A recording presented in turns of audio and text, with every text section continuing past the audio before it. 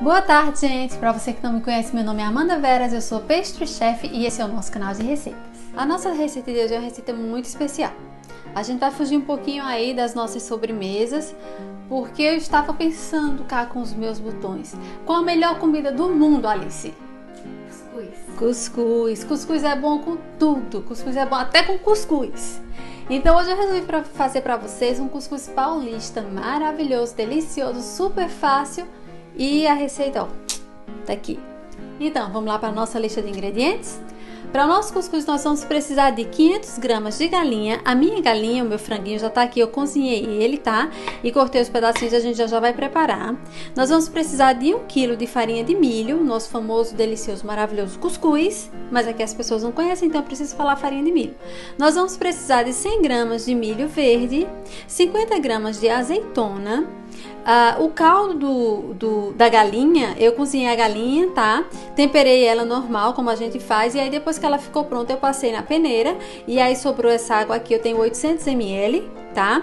Você vai precisar de 200 uh, ml de extrato de tomate, um pouco de azeite para usar no final. Esse franguinho você vai temperar ainda quando a gente for, for, fritar aqui, então você usa os temperos que você quiser. Você pode usar pimenta do reino, sal, botar um pouquinho mais de sal, páprica, você escolhe. Vamos precisar de. Uh, aqui eu tenho um ovinho cozido, tomate, isso aqui a gente vai enfeitar o nosso cuscuz por fora. Vamos lá para nossa receita? Então, gente, qual é o nosso primeiro passo? Nós vamos pegar aqui o nosso, o nosso franguinho, tá? Que tá já todo cortadinho. Você pode desfiar, cortar em cubinho, como você achar melhor. Eu vou colocar aqui só um pouquinho de azeite no meu, tá? Vou colocar um pouquinho de pimenta do reino, que eu amo, tá? Eu não vou colocar sal, porque quando eu temperei ele para cozinhar, eu já tinha colocado sal. Então, eu acho que ele tá bom. Vou colocar aqui um pouquinho de páprica só para dar cor, tá? Você pode usar o coloral também, o tempero que você gostar. E aqui a gente vai fritar um pouco o nosso franguinho. Já já eu volto com vocês.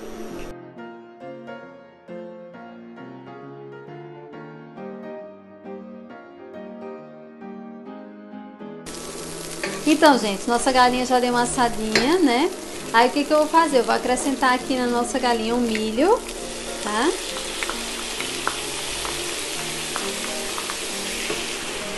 E azeitona.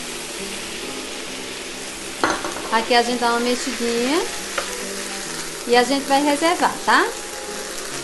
Agora que a nossa galinha já tá ali é, pronta, reservada, a gente vai pegar a nossa panela e vai colocar ó, caldo da galinha, totalmente peneirado, tá? E vamos colocar ele para ferver. Daqui a pouco eu volto com vocês. Então, gente, voltamos, ó, o nosso caldo começou aqui a ferver, tá? E aí agora eu vou acrescentar a nossa farinha de milho. Eu tiro um pouquinho do fogo, tá? Pra não é, dar muito trabalho de mexer. E você vai acrescentando aos poucos e não para de mexer, tá? Você vai só... Talvez você não precise usar o quilo inteiro. Então, você vai devagar, tá? Ó. Deixa eu mexer aqui pra ver como ele tá. Quase lá. Quase, quase, quase O cheiro. É, eu acho que eu não vou precisar usar o quilo inteiro. Aqui já foi, ó. Aí você volta ele pro fogo você vai mexer, porque essa farinha de milho precisa cozinhar, tá? Você vai mexer bastante, tá? Tipo, só por 30 segundinhos você mexe aqui. E aí quando ele já tá, ó, desgrudando do fundo da panela, ele já tá pronto. Então aqui eu já vou tirar do fogo, tá? Você tira um pouquinho assim do fogo. E aí você, ah, ele ficou apitando, peraí. E aí agora você vai acrescentar a sua galinha, tá? É uma receita super rápida, tá? E você já vai montar tudo na hora acrescenta aqui a galinha, dá uma mexidinha, tá? Pra ela incorporar toda no cuscuz. Coloca o seu caldo, o seu extrato de tomate, tá? E aí você dá uma mexida. E o cuscuz tá prontinho, prontinho. Agora a gente vai só preparar a forma para colocar ele dentro. Então, gente, nosso cuscuz já tá aqui prontinho, né, como vocês viram. E aí agora eu vou montar ele. Eu vou montar aqui de uma forma individual, tá? Mas você pode montar numa forma grande de bolo ou numa travessa, onde você quiser, tá? Esse cuscuz eu acho legal você montar e você desenformar, porque ele fica muito bonito por fora. Então, se tem visita, você está fazendo jantar para alguém, fica bem legal e fica bem bonito, tá? Então, o que eu faço? Eu passo ó, um pouquinho de azeite, tá? Eu gosto de usar o papelzinho porque não fica muito azeite. A gente passa o azeite que é para o cuscuz não grudar, tá? No meu recipiente. E aí aqui você vai arrumar, né, o que você quiser.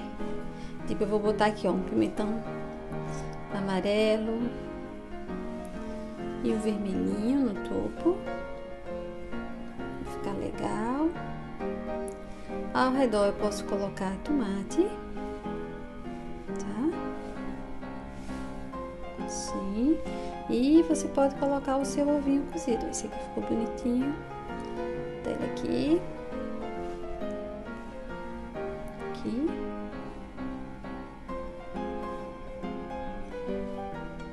Acho que esse aqui, aqui fica legal. Tá? E aí agora o que você faz? Você vem com o seu cuscuz, ó. Eu venho e vou colocando, cuidado não colocar de ah, mexendo muito para não mexer o que você arrumou embaixo, tá?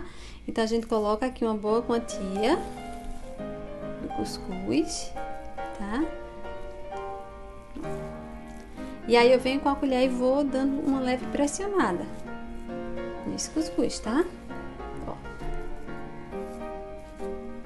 E ele é legal que você não precisa esperar para desenformar ele, tá? Porque você tem que servir quente, tem que comer quente, né? Tá? Dei uma pressãozinha aqui. Tenha certeza que você colocou o cuscuz em todos os lugares, né? Pra quando você tirar ele ficar bem bonito. E aí eu só vou dar uma limpada aqui na mesa e já volto com vocês pra gente desenformar. Aqui, ó. Coloquei o cuscuz um minutinho só, você não precisa esperar que ele tem que estar tá quentinho, né? E aí eu venho aqui, ó, no meu prato e desenformo. Esse vai ficar mais bonito. E aqui tá o nosso cuscuz, tá? Daqui a pouco eu volto com vocês.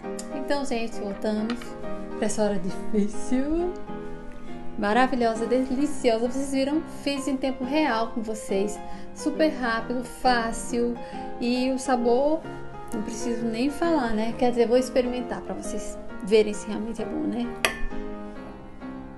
Vamos lá, pegar aqui o nosso cuscuzinho. Ó. Hum, delícia.